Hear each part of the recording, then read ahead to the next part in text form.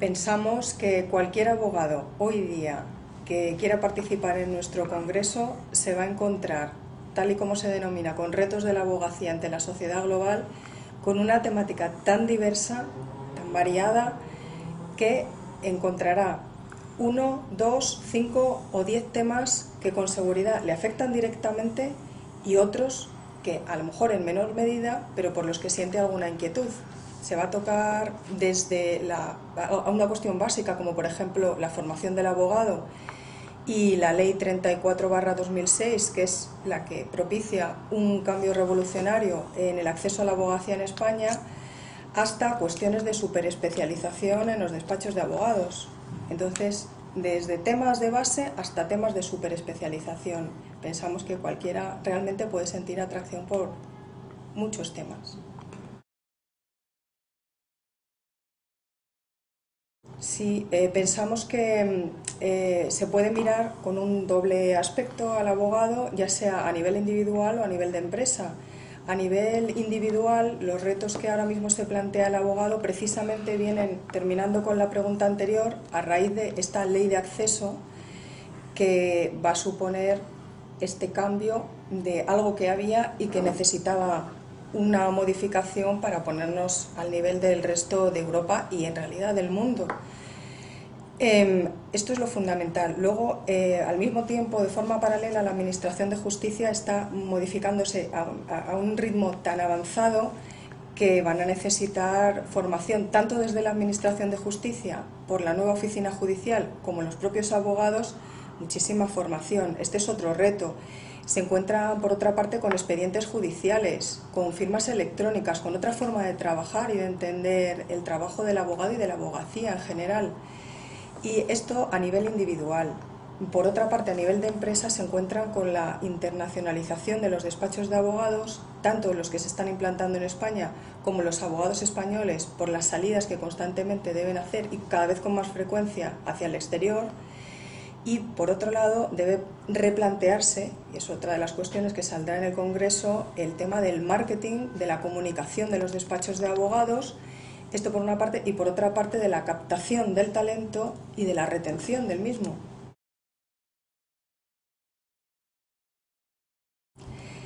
Primero para atraerlos y después para retenerlos, porque se van a tocar ambos temas. Para, atraerlos eh, vamos a ver qué es lo que buscan y ahí entramos también las universidades. Desde las universidades estamos desarrollando unas nuevas competencias propiciadas por el Plan Bolonia que eh, van a intentar que nuestros futuros abogados sean personas que además de tener un buen expediente académico, de tener idiomas, inglés por supuesto y aparte otros idiomas, tengan una serie de habilidades o destrezas, competencias que le formen como un abogado completo. Es decir, estamos hablando de cuestiones tales como eh, la empatía social, como el trabajo en equipo, la ilusión que debe tener cualquier abogado, especialmente los abogados jóvenes, y la retención del talento es algo que debe conseguirse desde los propios despachos de abogados, pero las medidas han de ser diferentes si estamos hablando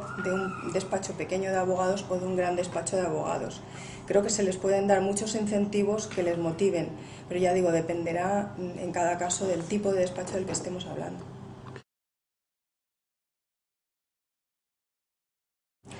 se va a abordar partiendo de dos realidades. Una es la nacional y otra es el ámbito europeo, que es el que ha traído esta sentencia de 14 de septiembre del año pasado. Eh, en ámbito nacional, en España no tenemos una distinción entre el abogado interno y el abogado externo. El problema ha surgido porque esta sentencia, que a su vez está mm, dando continuidad a una sentencia que ya es del año 82, pero que no, aparece, no parece que reforme prácticamente en nada lo que había anteriormente, eh, ha dejado con claridad el secreto profesional amparado para los abogados externos y no para los abogados internos. Entonces, mm, esto supone una, si se quiere, una desventaja para los abogados internos y parece que esta sentencia lo que ha querido transmitir o dar el mensaje es a la Unión Europea para que la legislación pueda ser homogénea y una vez que esa legislación europea pueda ser homogénea, entonces sí, eh, la jurisprudencia puede actuar, pero cuando tengan una homogeneidad normativa. Estos son los planteamientos de los que se partirá para hablar del, secreto de empresa. Se, eh, hará intervenir em, las opiniones de, de abogados que están colegiados, porque hay una comisión, por ejemplo, en el Colegio de Abogados de Madrid que lo ha debatido, ha planteado claramente su postura y ha sido muy crítica, como lo están siendo la mayoría de los sectores. El abogado pro bono, que pro bono quiere decir pro bono público, para el bien público, es un aspecto de la abogacía eh, que resulta incipiente, está creciendo, pero creo que está creciendo con fuerza. En Estados Unidos, por ejemplo, ya tiene cierta tradición y se está implantando en España. Mm, de momento no es una cuestión muy conocida, pero creemos que es una cuestión buena porque eh, los estudios que se han hecho eh, sobre abogados en Estados Unidos que realizan actividades pro bono eh, parece ser que les han motivado muchísimo y que encuentran aquello que les falta a lo mejor en una actividad mm, diaria dirigiendo casos de derecho mercantil puro o tratando con otras empresas, encuentran aquella parte más vocacional que incluso fue la que les llevó a la carrera de derecho. Que tenga paciencia porque es un tema muy complicado. Yo en alguna ocasión he preguntado a directores de recursos humanos de, pequeños y de grandes despachos cómo afrontan el tema de la conciliación y bueno, lo que ellos se plantean es, están tomando medidas, la legislación además les acompaña, pero se encuentran con el problema de el cliente te quiere y te quiere a cualquier hora. Y si puedes tener BlackBerry y, no tener una sino tener dos, pues mejor. Y si te pueden llamar a cualquier hora porque están muy asustados, te llaman. Entonces, en, en, la medida en que esa profesión es así, pues es complicado.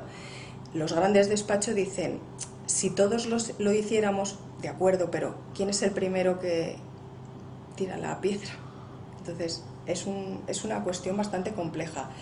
Hay medidas que sí que se quieren adoptar, sobre todo los, los grupos de abogados jóvenes de los colegios, Em, lanzan muchísimas propuestas, em, los grandes despachos también, intentan que los horarios sean flexibles, pero realmente el problema es conjugar esta actividad de conciliación con una carrera profesional de éxito.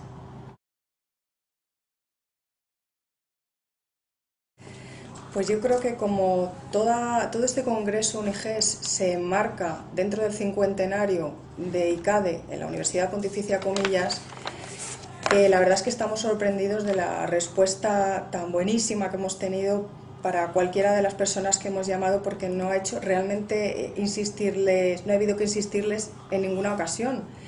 El sí ha sido prácticamente inmediato y además con mucha ilusión y muchas ganas.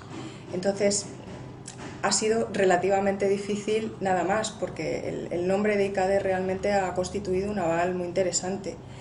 Em, el primer día nos, van a acompañar, como es tradicional en todos los UNIGES, los tres rectores, el, de la Universidad Pontificia Comillas, el de Deusto en Bilbao y el de la Universidad Ramón Llull, ESADE, en Barcelona.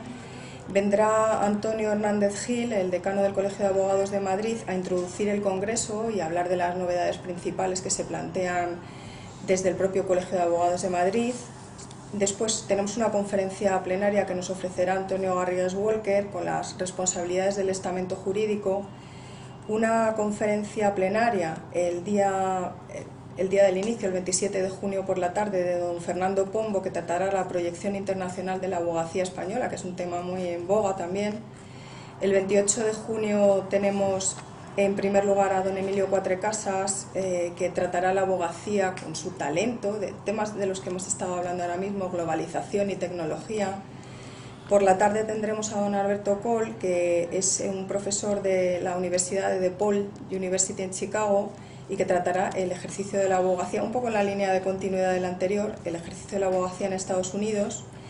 Y el 29 de junio, don Luis de Carlos de Uría Menéndez nos hablará de los grandes retos de los despachos de abogados colectivos en España. Eh, la conferencia de plenaria de clausura, en el mismo día 29 de junio, la dará don José Carlos Díbar Blanco, presidente del Consejo General del Poder Judicial y del Tribunal Supremo, que tratará de los fundamentos éticos de la abogacía, que nos apetece mucho escucharle, sus palabras seguro que aportan mucho. Y después tendremos al presidente del, eh, del Consejo General de la Abogacía Española, don Carlos Carnicer, vendrá en la medida de sus posibilidades, nos ha dicho que va a hacer todo lo posible el ministro de Justicia, don Francisco Camaño, y le acompañarán los tres decanos de las facultades de derechos de las universidades convocantes a los que me, me refería anteriormente. Así que invitamos a todo el mundo a que venga nuestro congreso, nos acompañe y esperamos satisfacer todas las inquietudes relacionadas con la abogacía. Muchas gracias.